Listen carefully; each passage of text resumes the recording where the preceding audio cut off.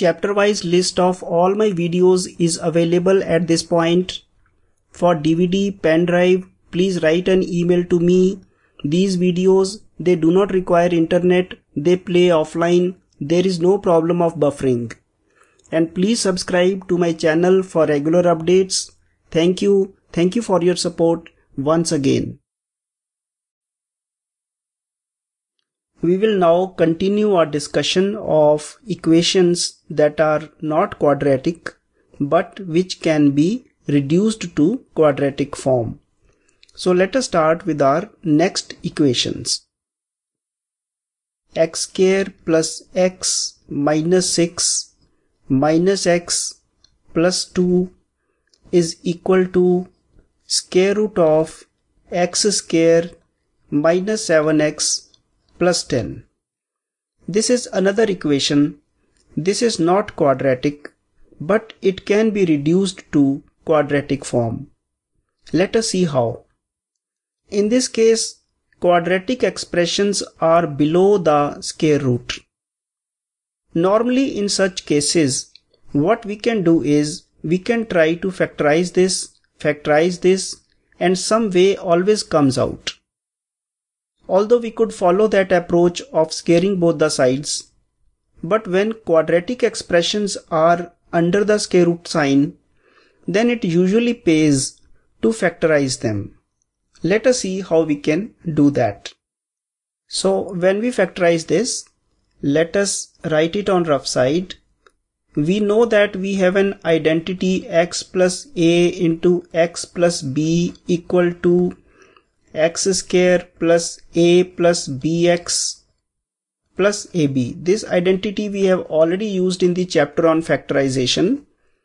So we have to basically find two numbers whose sum is the coefficient of x and whose product is the free term and if the coefficient of x square is 1 coefficient of x square is 1.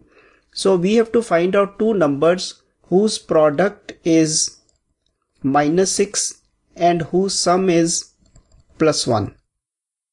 Obviously such numbers are 3 and minus 2. 3 plus minus 2 will give me plus 1. 3 into minus 2 will give me minus 6. So the factors of this are square root of this square root sign we retain the factors will be x plus 3 multiplied by x minus 2 x plus a x plus b x plus 3 x plus minus 2 which is x minus 2 this minus sign can be extracted to give me x minus 2 so what I am seeing is that x minus 2 is now common. Most probably x minus 2 will be common out of here also. Let us see whether it is. To factorize this, we need two numbers whose product is 10 and whose sum is minus 7. So what are those numbers? One number is 2, the other number is minus 5 because 2 into minus 5, uh, so uh, this will have to be minus 2. Minus 2 into minus 5 will be 10 minus 2 plus minus 5 will be minus 7.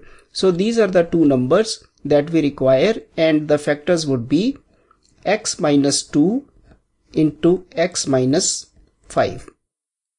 Now we will collect x minus 2, x minus 2 together. So what we do is we bring this to the left side to help us in the matter.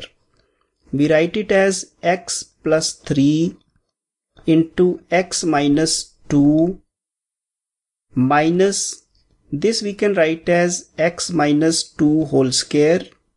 This we have written as this one minus square root of x minus 2 into x minus 5 which is equal to 0. So the purpose of writing this way is so that I can take square root of x minus 2 common.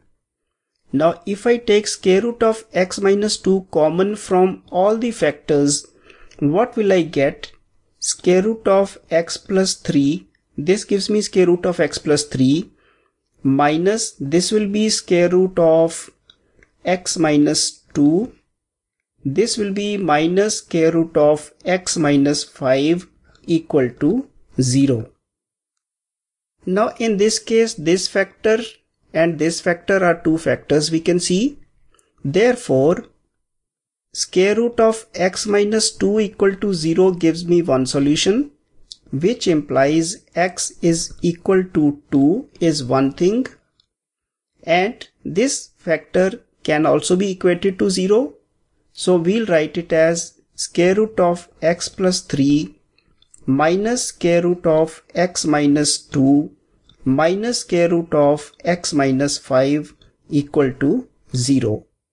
So one possibility is that this expression is 0 which immediately gives me x equal to 2.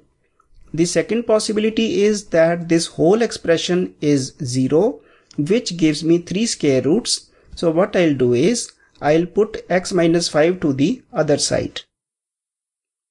And I have already got one solution as x equal to 2. So we can write it equal to square root of x minus 5.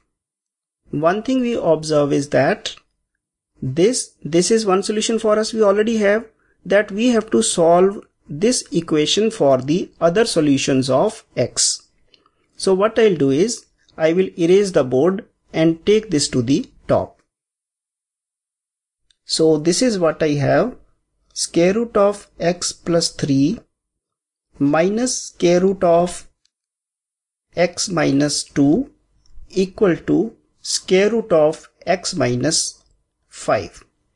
One thing we can observe here is that these all these square roots will have to have positive values. This means these must be individually greater than or equal to 0. Let us write that also side by side. So x plus 3 should be more than or equal to 0 which implies x should be more than or equal to minus 3. x minus 2 should be more than or equal to 0 which implies x should be more than or equal to 2 and likewise x minus 5 should be more than or equal to 0 which implies x should be more than or equal to 5.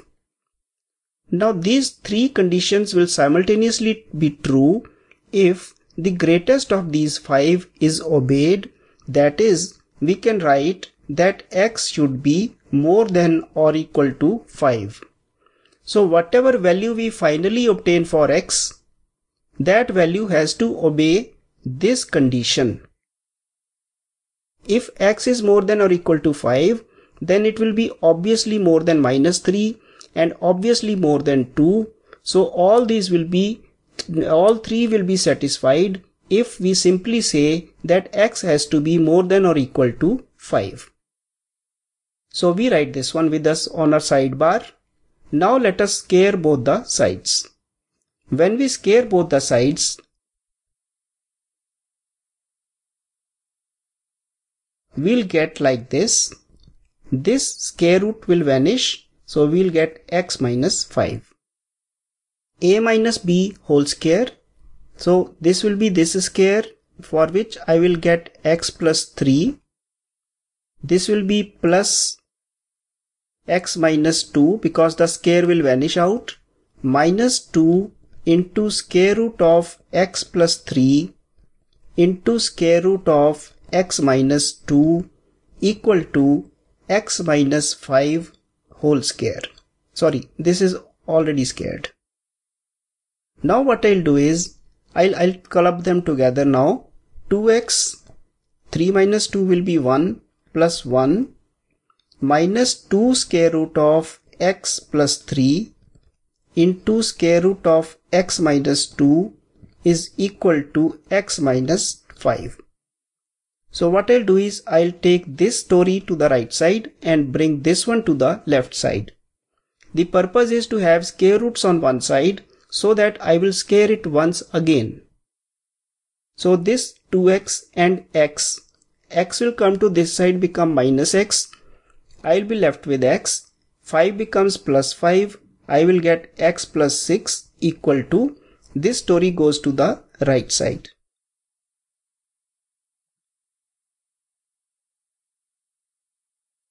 Now again square both the sides x plus 6 whole square equal to 2 square root of x plus 3 square root of x minus 2 whole square. Open this one. X square plus 12x plus 36 this is a square plus b square plus 2ab and this will be 4 into x plus 3 into x minus 2. I have individually squared all of them. 2 square is 4. This is x plus 3. This is x minus 2. So I can write it as 4 into x square. I'll just open this up plus x minus 6 which is equal to 4x square plus 4x minus 24. So when this x square moves to the right side, it will become 4x square minus x square. So I'll get 3x square.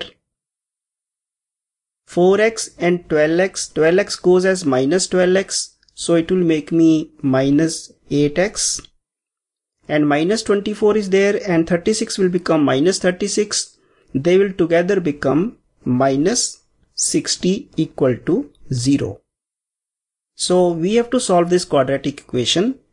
For this find two numbers whose sum is minus 8 and product is minus 60 multiplied by 3 that is I have to obtain partitions of these factors, this will be 3 into 2 into 2 into 5 into 3.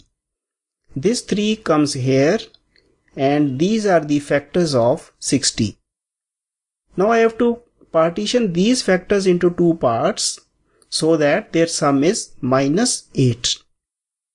From this I can see that 3, 2 and this 3 they will together be 18 and I'll be left with 10.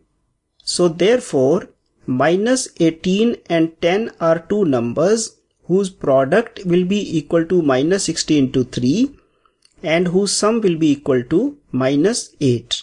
So the roots of this equation will be, I'll just get a vacant space here. The roots will be minus 18 by minus a which is minus 3 that is 6 and this is 10 10 divided by minus a that is minus 10 by 3 so I have two roots. One is this and one is this. But as I already know my roots have to obey this condition. Out of these, this one doesn't obey, so I, I reject this root. So one root is 6 and the other root that I found on the previous page was 2. So 6 and 2 are the roots of the original quadratic equation. You must be thinking that I have taken a long time. The purpose was to explain you the things. But if I were to do it alone, it would not take more than 45 seconds. Because if one is well versed in everything, then it is not a game of even 45 seconds.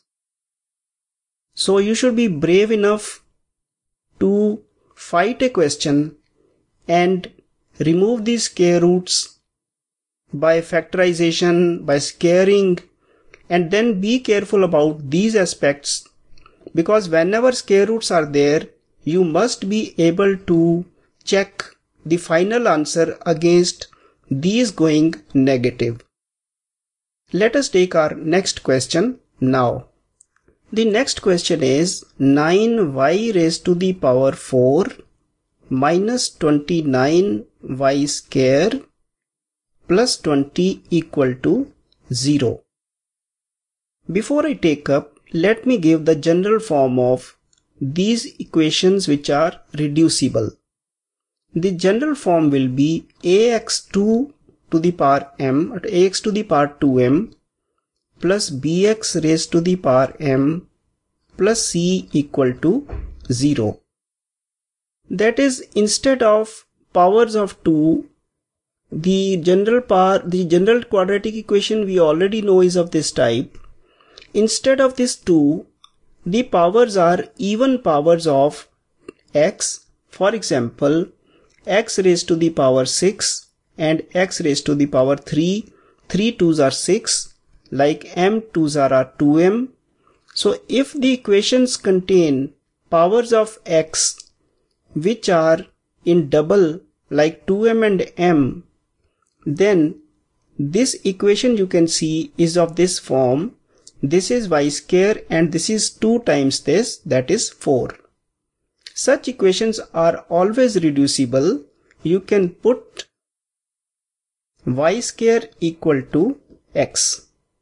So if the equation would have been 9y to the power 8 minus 29 y raised to the power 4 plus 20 equal to 0 then this equation would have been of the form 2mm then I would have put y raised to the power 4 equal to x.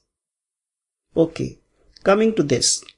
When I do this, this equation reduces to 9x square minus 29y plus 20 equal to 0. So I have to find two numbers whose sum is minus 29 and whose product is 20 multiplied by 9 a and c.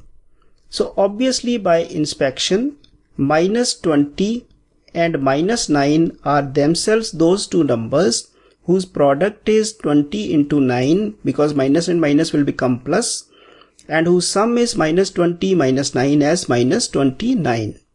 So this is what I have. So therefore the solution is going to be minus 20 by this 9 will be minus a that is 20 by 9 and this minus 9 by this minus a which is minus 9 equal to 1. Therefore, y square is equal to 20 by 9 because y square is equal to x and x has been found to be 20 by 9 which implies y is equal to plus minus square root of 20 by 9. We can simplify it further plus minus square root of 4 into 5 by 3 square root of 9 is 3 which comes to plus minus 2 square root of 5 by 3. So two possible values of y are plus minus this one. Then we can't ignore this one also. So y square is also equal to 1 which implies y is equal to plus minus square root of 1 which is equal to plus minus 1. So this equation has four solutions y plus minus 2 square root of 5 by 3 and y equal to plus or minus 1. Let us see more examples where we will be reducing a given equation to quadratic form. He says solve x plus 1 multiplied by x plus 2 multiplied by x plus 3 into x plus 4 equal to 24. The general form of these equations I'll also write as I have always written x plus b, x plus c, x plus d equal to k. Such equations are solved by smart rearrangement. Whenever you find coefficients, whenever you find linear factors like this, then you should combine them in such a way like here I will combine x plus 1 and x plus 4. Why? Because 4 plus 1 is 5 and 3 plus 2 is 5. I'll make combinations where sum of the the the uh, the uh, factor like 1 uh, sum of this 1 and 4 is same as the sum of the free term of these other two uh, two factors for example if we have given been given this x plus 3, x plus 2, x plus 5, x plus 6.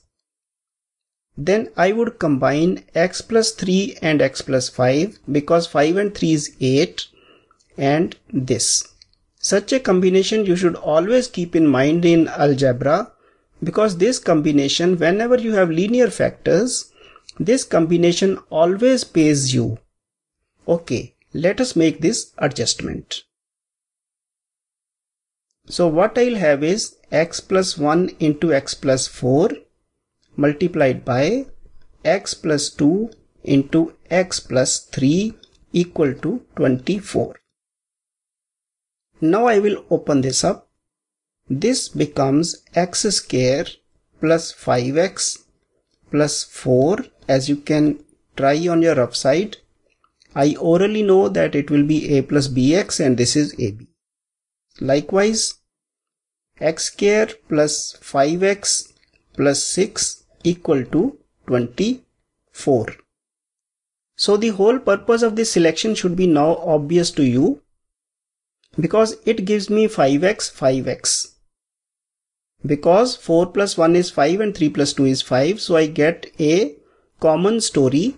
So I will now put x square plus 5x equal to y. So what do I get? Which implies y plus 4 multiplied by y plus 6 equal to 24 which implies now I'll open this one this one will be y square plus 10y plus 24 equal to 24.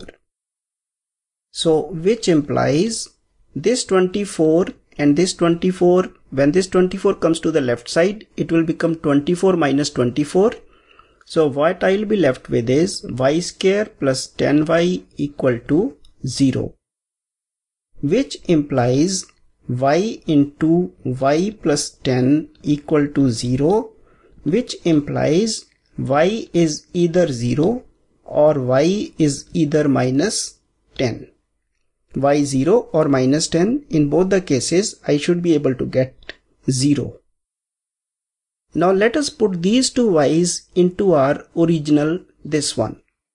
I'll make two partitions. Start with y equal to 0 so I'll write x square plus 5x has to be equal to 0 on the first part. And also x square plus 5x has to be equal to minus 10. Now first of all I'll solve this one. This will be x into x plus 5 equal to 0 which implies x is either 0 or x is equal to minus 5. These are two solutions for x and let us attend to the right side also x square plus 5x plus 10 equal to 0.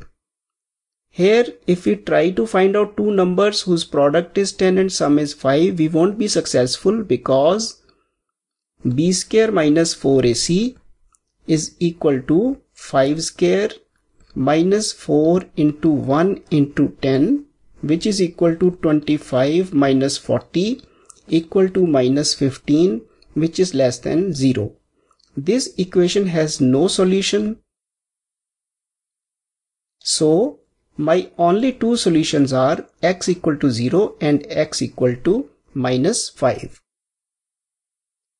Now let us take more examples where x appears either in the denominator or in the form of a power. Let us take those examples. Let us go further.